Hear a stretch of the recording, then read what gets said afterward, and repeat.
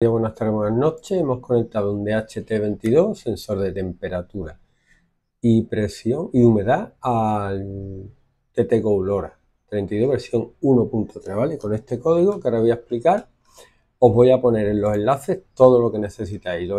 me he basado en este tutorial de Random Nerd Tutorials que está muy muy bien y he tenido problemillas en la conexión con la protoboard no se conectaba bien, lo he conectado exteriormente, que no es como debería estar conectado, y va bien, así que lo dejamos así. Eh,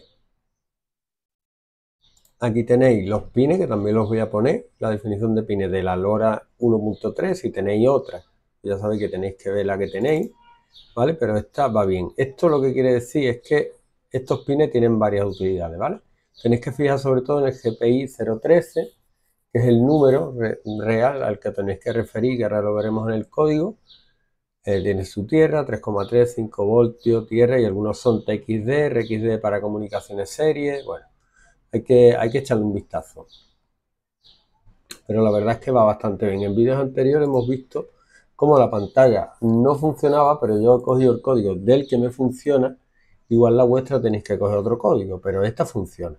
¿Vale? Entonces podéis copiar este código que lo voy a poner también en GitHub y a tirar. Os explico un poco el código, ¿vale? Esto es para la pantalla, los includes de la pantalla. Esto es el include del DHT, luego lo he puesto en el pin 4.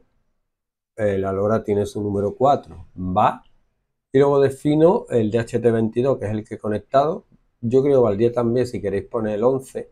Aquí tenéis para el 11 y para el 21 y luego esto es también para inicialización de la pantalla y comentario y inicializa aquí el DHT y la pantalla, ¿vale?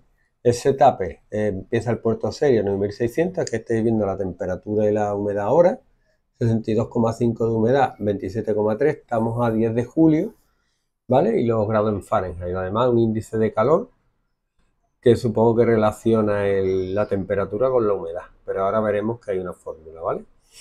Em, inicializa el puerto serie, imprime test del DHT, lo comienza, esto es para, si no, si no, para resetear la pantalla OLED y luego inicializa la pantalla OLED. Esto es para decir cómo va a ser la pantalla, la limpia y pone la fuente. Y luego en el loop espera dos segundos porque el lector he leído que es bastante lento y espera dos segundos cada vez.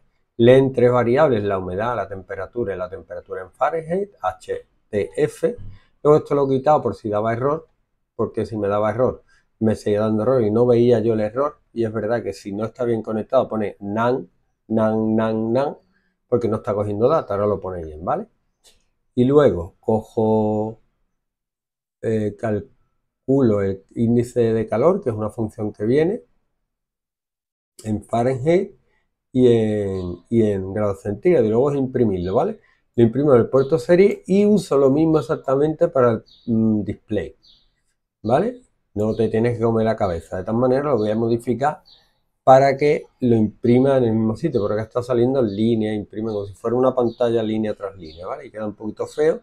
Si queda arriba los dos y van cambiando conforme van cambiando los valores, más bonito. Imprime eh, la humedad, la temperatura, la F para el formato y ya no he hecho display más en la pantalla, ¿vale? Lo demás es para el puerto serie, ¿ok? Y al final display.display para que realmente lo que ha ido cogiendo que va a imprimir en la pantalla lo imprima.